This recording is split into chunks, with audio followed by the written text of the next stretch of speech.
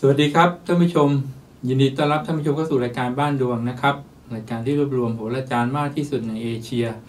รู้ลึกแม่นยำนำโชคลาภนะครับผมอาจารย์ชานโอลี่ครับวันนี้วันที่ 2 พฤศจิกายนนะครับ ก็เป็นประจำนะครับ หลังจากลอตเตอรี่ออกแล้วนะครับ ประมาณ 1 วันนะครับ ผมจะมาอัปเดตถึงตัวเลขที่ออกไป แล้วก็จะนำตัวเลขในงวดต่อไปนะครับ มาให้ท่านผู้ชมได้ประกอบกันพิจารณาในการเสี่ยงโชคนะครับ ก่อนอื่นนะครับ ผมขออนุญาตบอกบุญก่อนนะครับ ก็คืออขออนุญาตแชร์บุญนะครับเนื่องจากวัดนะครับหัวคูนะครับ อยู่ที่ซอยลาดกระบัง 54 นะครับ กรุงเทพนะครับจะจัดงานอุปสมบทหมู่นะครับ ในวันพ่อนะครับ เพื่ออร่วมกันนะครับ ถวายเป็นพระราชกุศล แล้วก็ร่วมกันที่เราจะสร้างบุญบารมีให้กับตัวเราเองนะครับ งานอุปสมบทหมู่นะครับ จะเริ่มวันที่ 24 พฤศจิกายนนี้นะครับ ถึงวันที่ 10 ธันวาคม 2561 นะครับ ท่านที่สนใจนะครับก็ติดต่อไปได้ที่วัดนะครับติดต่อเบอร์หลวงพ่อเด่นนะครับหรือว่าหลวงพี่เด่นนะครับเบอร์นะครับ 085 306 6539 เดี๋ยวผมจะขึ้นเบอร์ไว้ที่หน้าจอด้วยนะครับครับ ท่านที่ออยากให้บุตรหลานที่ ถึงวัยถึงเกณฑ์ในการบวชแล้วนะครับ จะเข้าอุปสมบทหมู่นะครับ ก็ในช่วงปลายปีนี้ก็ถือว่าเพื่อที่เราจะได้มาร่วมทำบุญนะครับ สร้างบุญสร้างกุศลนะครับ ให้กับตัวเราเองและครอบครัวนะครับ และที่วัดหัวพูนี่ยังมีสถานที่ปฏิบัติธรรมด้วยนะครับ ผมเคยไปมาหลายครั้งก็บรรยากาศก็ดีนะครับ แล้วก็หลวงพ่อท่านก็จะ สอนให้เรานั่งปฏิบัติธรรมนะครับ สามารถไปช่วงเวลาไหนก็ได้นะครับ จะนั่งกี่ชั่วโมงก็ได้นะครับ หรือจะนั่งติดต่อกัน 3 วัน 5 วัน 7 วันนะครับ ก็ติดต่อไปได้ที่เบอร์ที่ผมขึ้นไว้หน้าจอนะครับอย่าลืมนะครับ ก็ขออนุญาตแชร์บอกบุญกัน ก็ผ่านแล้วนะครับสำหรับงานบุญสำหรับงานอุสมบทหมู่นะครับ ที่วัดหัวคูนะครับ ที่ขออนุญาตนำมาประชาสัมพันธ์กัน ต่อไปก็จะมาอัปเดตนะครับ ตัวเลขในงวดวันที่ 1พฤศจิกายนที่ผ่านมานะครับ เลข 2 ตัวท้ายออก 58 เลข 3 ตัวหลังรางวัลที่ 1 นะครับ ก็ออก 840 นะครับ ก็ในงวันนี้ในเลขในตารางผมถือว่าเข้านะครับ เพราะว่าเลขทุกตัวที่อยู่ในตารางก็นำไปใช้ประโยชน์ได้เต็มที่นะครับ หลายท่านอชอบที่จะเลือกเองก็มีทั้ง 4 มีทั้ง 0 มีทั้ง 8 ลายท่านที่ชอบจะให้ผมเลือกให้ผมก็วงกลมไว้อย่างที่ผมขึ้นไว้หน้าจอนะครับ 58 โดยเฉพาะในช่วงก่อนหวยออกสักประมาณ 5-6 วัน ผมได้ทำคลิปสรุปตัวเลขในการบ้านดวงขึ้นไปสำหรับของอาจารย์ชาญคือของตัวผมเองเนี่ยผมสรุปตัวเลขให้เหลือ 4 ชุดนะครับ มี 25 28 85 และ 89 8558 ใน 4 ชุดนั้นก็เข้านะครับทำให้หลาย ๆ ท่านในไลน์ก็มีโชค มีลาบกันไปนะครับ ก็ขอแสดงความยินดีด้วย ก็ คลิปที่แล้วผมบอกไว้แล้วนะครับว่าดาวพฤหัสบดีเนี่ยเพิ่งย้ายเข้ามานะครับอยู่ในราศีพิจิก แล้วก็ตีโกนกับพระราหูก็คือเลข8นะครับในราศีกรกฎดังนั้น 58 เป็นคู่ที่เด่นนะครับที่สำคัญก่อนหวยออกคือวันที่วันพฤหัสที่1นะครับก็คือคืนวันพุธนะครับโดยความเชื่อ ในในส่วนที่ผมมักจะบอกลูกศิษย์หรือคนที่อยู่ในไลน์เสมอว่า คืนวันพุธก็คืออยากให้เราบูชาพระราหูนะครับ ผมก็ได้ไหว้นะครับ แล้วก็ได้บอกให้หลาย ๆ ท่านในไลน์ที่ว่างแล้วก็ไหว้กันนะครับ แล้วก็ให้เน้นเลข 5 กับเลข 8 นะครับ หลายท่านก็พระราหูสิ่งศักดิ์สิทธิ์ก็ให้โชคนะครับ ก็จะเป็นความบังเอิญหรือความศรัทธาก็แล้วแต่ท่านผู้ชม โปรดใช้วิจารณญาณในการรับชมแล้วกันนะครับ ต่อมาเรามาดูในงวดที่ 16พฤศจิกายนนะครับ ว่าจะมีเลขอะไรที่น่าสนใจบ้างนะครับ ก็ ดาวดาวมฤตยูนะครับ ยังอยู่ในราศีเมษนะครับ แล้วก็ในราศีกรกฎก็ยังมีดาวพระราหูเลขแปดอยู่นะครับ แล้วก็ในราศีตุลนะครับ ตามชาร์ตที่ผมขึ้นไปให้นะครับจากอ่า ในรูปจากราศีนะครับ ราศีตุลก็จะมีดาวอาทิตย์ ดาวพุธดาวศุกร์ก็คือเลขหนึ่งเลขสี่เลขหกนะครับ ส่วนราศีพิจิกก็คือดาวพฤหัสบดีนั่นเองคือเลขห้าราศีธนูนะครับ ก็จะเป็นดาวเสาร์เลขเจ็ดนะครับ ที่สำคัญตรงนี้นะครับ เน้นนะครับผมจะวงกลมหรือว่าใส่ดอกจันไม่เลยนะครับ ในราศีกุมนะครับ มีดาวจันทร์ ดาวอังคารและดาวพระเกตนะครับ 2 3 9 อยู่ในราศีกลุ่ม ซึ่งมีนัยยะสำคัญนะครับ ในการที่ผมจะคัดเลือกดาวสำคัญมาออกในวันที่ 16 พฤศจิกายนนี้นะครับขออนุญาตเปิดผังจากราศีดูนะครับ เมื่อวันที่ 16 เนี่ยสังเกตดูก็คืออในราศีกุมนะครับ ราศีกุมเนี่ยถ้าในเขาเรียกว่าในดวงของในดวงโลกนะครับจะอยู่ในภพเรือนของลาภะ เรือนลาภะก็คือเรือนโชคลาภนะครับ แล้วก็ในทางโหราศาสตร์เนี่ยในราศีกุมเนี่ยก็จะมีเขาเรียกว่าจะมีดาวประจำราศีคืออเลข 8 คือดาวพระราหูอยู่ในราศีกุมนะครับ แล้วก็ในราศีกรกฎนะครับ จะมีดาวจันทร์อยู่นะครับ เป็นดาวประจำราศีเขาเรียกเจ้าเรือนเกษตรของตัวเองนะครับทีนี้เนี่ยเลข 8 มาอยู่ในเรือนดาวจันทร์ดาวราศีกรกฎ ส่วนดาวจันทร์นะครับ ไปอยู่ในราศีกุม คือไปอยู่ในเรือนของราศีพระราหูตามหลักโหราศาสตร์ก็เรียกว่าแลกเรือนกัน ฉะนั้นมีนัยยะสำคัญนะครับ เพราะว่าในภพโลกเนี่ยอของราศีกรกฎเนี่ยเป็นเขาเรียกว่าเป็นภพพันธุนะครับเรือนพันธุพันธุนี่ก็แปลว่าครอบครัว หรือว่าช่องทางหาไรายได้ช่องทางทางการเงินก็ได้นะครับ เป็นผู้หลักผู้ใหญ่เป็นครอบครัวเป็นช่องทาง หารายได้หรือช่องทางของการสร้างรายได้ ช่องทางทางการเงินนะครับแลกเรือนกับช่องทางในภพของอภพในเรือนลาภะตัวทีนะครับในเรือนลาภะในราศีกุมเนี่ยลาภะคือโชคลาภถ้าแปลเป็นภาษาชาวบ้านนะครับ ให้แบบว่าให้เข้าข้างตัวเองนิดนึงก็คือ ช่องทางที่จะนำรายได้มาให้เรานะครับ ช่องทางที่จะให้โชคลาภเรานั่นเองนะครับ อยู่ในช่องทาง ในราศีกรกฎและราศีกลุ่มมีเลขอะไรบ้าง มีดาวอะไรบ้างนะครับ ก็มี 8 2 3 9 นะครับ 4 ตัวนี้นะครับ ผมจะจดออกมาไว้ในตารางไว้ก่อนนะครับ แล้วก็มีเลขอีกชุดหนึ่งนะครับ ที่โดดเด่นที่น่าสนใจนะครับ ก็คืออทิ้งไม่ได้ก็คือนะครับเลข 5 นะครับ คือดาวพฤหัสบดียังอยู่ในราศีพิจิกซึ่งย้ายมาไม่นานเนี่ย ก็ยังมีพลังเหลือเฟือนะครับ แล้วก็ เลข5ที่อยู่ในราศีพิจิกเนี่ยขยับไปราศีธนูเนี่ย ตามโหราศาสตร์เนี่ยใน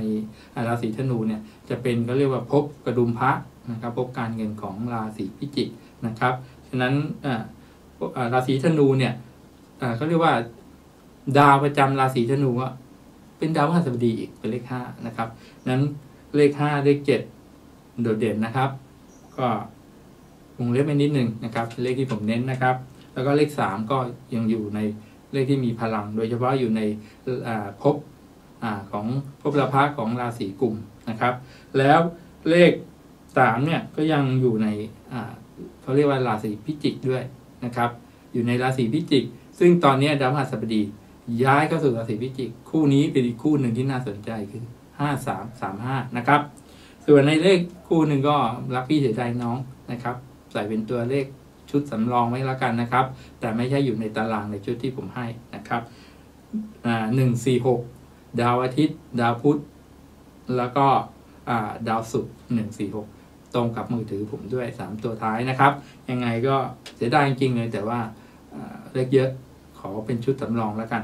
มาดูในตารางที่ผมให้นะครับ ตารางที่ผมทำไว้ขออนุญาตเปิดชาร์ตตารางเดี๋ยวผมจะขึ้นหน้าจอให้นะครับ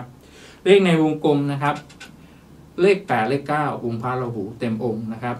อย่างที่ผมเคยเล่าหลาย ๆ คลิปไปแล้ว เลขเก้าก็คือดาวพระเกตเนี่ยเป็นส่วนหนึ่งที่ได้ก่อกำเนิดมาจากส่วนล่างของพระราหูที่ได้งอกออกมาเป็นเป็นเทพบุตรหรือเทพดาองค์ใหม่เป็นพักเกตนะครับพระราหูโดนตัดครึ่งนะครับยันเลขแปดเลขเก้าเนี่ยผมให้เด่นเท่ากันอยู่ในช่องตรงกลางนะครับ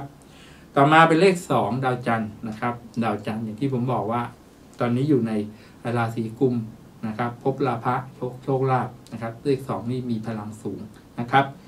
ต่อมาคือเลขสามดาวอังคารดาวอังคารเนี่ยมีสองนัยยะ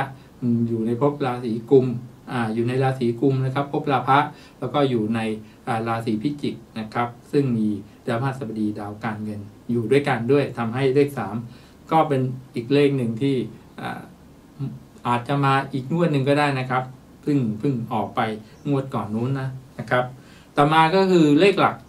ที่ตัวนี้โดนย้ายช่องกลางมาอยู่ช่องข้างล่างก็จริง แต่ก็ว่าเป็นเลขในกลุ่มที่มีพลังคือเลข 5 ดาวพฤหัสบดีนะครับ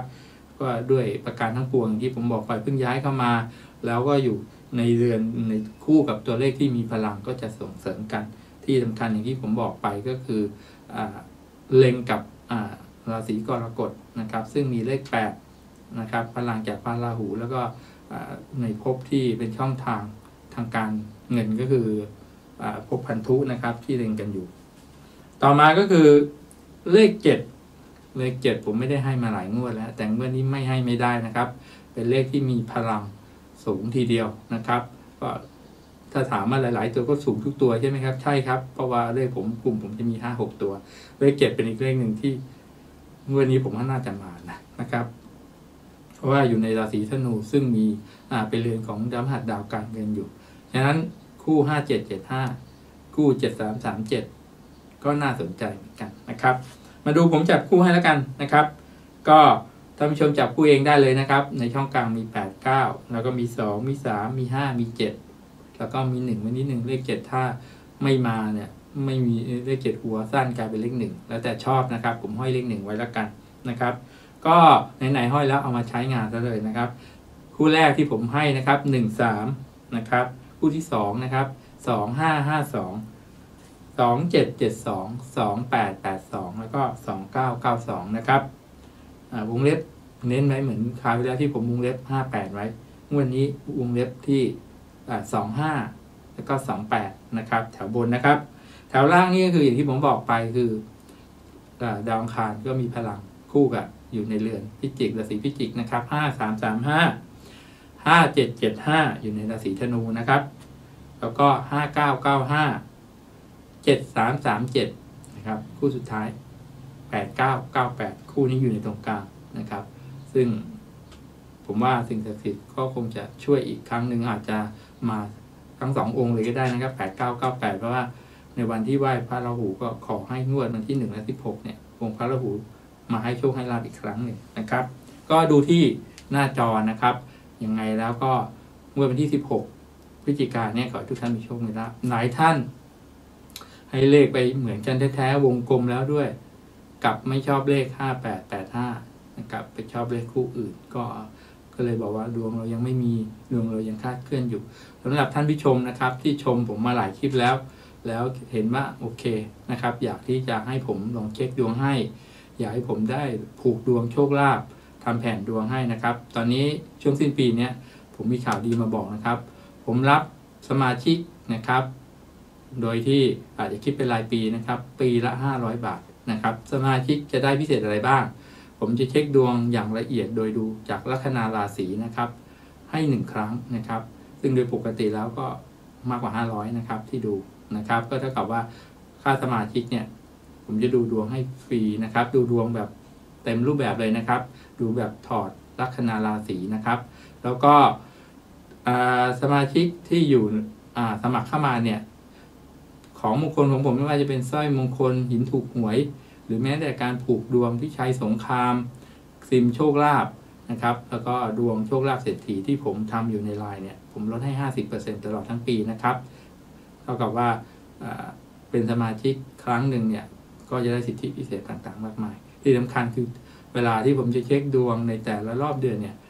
ผมมีรหัสสมาชิกแล้ว ถ้าท่านบอกรหัสมาแล้วถามเรื่องความฝันในเรื่องของการให้ให้เลิกในการจะออกรถใหม่ขึ้นบ้านใหม่งานแต่งงาน หรือลูกจะไปสมัครงานสอบถามเข้ามาฟรีนะครับสำหรับท่านสมาชิกเนี่ยผมจะให้สิทธิพิเศษในการเช็คให้ก่อนสำหรับท่านอื่นเนี่ยที่อะไรมาแล้วยังไม่เป็นสมาชิกก็รอต่อคิวนิดหนึ่งเพราะหลายท่านเริ่มสมัครเข้ามาแล้ว วิธีการสมัครง่ายๆนะครับ ท่าน add ไลน์เข้ามา นะครับ แล้วก็ บอกมาว่าว่าสมัครสมาชิก ผมจะส่งลิงก์ให้ ในลิงก์ก็จะเป็นหน้าทะเบียนประวัติ เพราะว่าเวลาผมส่งของให้เนี่ยเวลาคุณกรอกที่อยู่เบอร์โทร ผมส่งเคอรี่เนี่ย มันก็จะได้ไม่ต้องถามที่อยู่กันใหม่โดยเฉพาะถ้ามีเวลาว่างเนี่ยผมก็จะถอดดวงแล้วก็จะดูดวง เก็บไว้ให้เลยว่าดวงคุณเนี่ยโดดเด่นในเรื่องอะไร ถ้าการเงินรั่วไหลควรจะแก้ไขยังไงโชคมีลาบเราควรจะเน้นเลขอะไรนะครับ ของผมเนี่ยสำหรับการให้เลขเนี่ย ผมไม่ได้เปิดกลุ่มเก็บตังค์นะครับ ไม่ไม่เสียค่าใช้จ่าย ขอเป็นแค่สมาชิกปีละ 500 นะครับ ในแต่ละงวดในแต่ละเดือนเนี่ยผมก็จะมีตัวเลขจากจากราศีหรือตัวเลขในช่วงใกล้ๆ ที่มีเลขตัวไหนที่มีพลังเนี่ยผมก็จะส่งให้เป็นกรณีพิเศษไป ไม่มีค่าใช้จ่ายเพิ่มเติมนะครับ อยู่เว้นท่านผู้ชมอยากจะไปร่วมทำบุญ แล้วก็โอนเงินนะครับร่วมบุญเข้ามานะครับ ซึ่งผมกำลังจะประชาพันธ์ต่อไปนี้นะครับ ว่าวันที่ 11 เนี่ย หลายท่านขอบพระคุณมากนะครับ ที่ได้แอดไลน์แล้วก็โอนเงินนะครับ ในการทำแผ่นทอง 199 บาท แล้วก็ร่วมนะครับในการทำบุญสร้างห้องน้ำที่จังหวัดสกลนครนะครับยังไงผมก็จะถ่ายรูปแล้วก็จะวันที่ 11 เนี่ย ผมก็จะไปร่วมงานแล้วก็ออกโรงทานกันมีหลายท่านก็สนใจจะไป ท่านที่อยู่ในกรุงเทพและปริมณฑลเนี่ยรถออกที่หน้าอิมพีเรียลสำโรงนะครับ จองคิวเข้ามานะครับ จัดไว้ให้ 2 คันนะครับ2รอบก็คือ 7 โมงเช้ากับ7โมงครึ่งสำหรับท่านที่มา late เกิน 7 โมงนะก็รอรอบในรถอีกคันนึงที่7โมงครึ่งนะครับเราจัดรถบริการให้ฟรีแล้วก็ถ้าท่านไม่มีงบประมาณก็เอาแรงกายก็ได้ครับ เราไปช่วยออกลงทานนะครับตักอาหารแจกกับสำหรับท่านที่ไปเททองหล่อพระเราก็ถือว่าเราได้บุญด้วยนะครับ ส่วนวันที่ 17-18 ผมจะไปจังหวัดสกลนครนะครับนำเงินไปมอบให้กับที่วัดแล้วก็ไปส่งมอบห้องน้ำที่ทางวัดสร้างเสร็จแล้วนะครับ เดี๋ยวจะถ่ายรูปมาให้ดู ขอบคุณท่านผู้ชมนะครับ ที่ช่วยโอนเงินค่าสร้างห้องน้ำวัดมีห้องน้ำใช้แล้วก็ผมก็บอกบุญเพิ่มนะครับ ที่วัดอยากได้ห้องสมุด ท่านที่มีหนังสือดีๆ มีความรู้นะครับ แล้วเก็บไว้อ่านจนแบบว่าเราขึ้นใจแล้วเราอยากจะให้ทางวัดได้ทำห้องสมุดไว้ให้กับ พระที่บวชใหม่ให้กับแขก หรือชาวบ้านที่อยากจะศึกษาหาความรู้เนี่ยนะครับ add Line มานะครับนะขอที่อยู่ผมเดี๋ยวผมส่งที่อยู่ให้ แล้วก็ส่งหนังสือใส่กล่องนะครับส่งเคอรี่ไม่กี่บาทนะครับส่งมาสักสิบยี่สิบเล่มก็คุ้มเดี๋ยวผมจะรวบรวมไปให้ที่วัดแล้วปีหน้าผมจะสร้างห้องสมุดนะครับท่านที่มีหนังสืออที่คิดว่าเรามี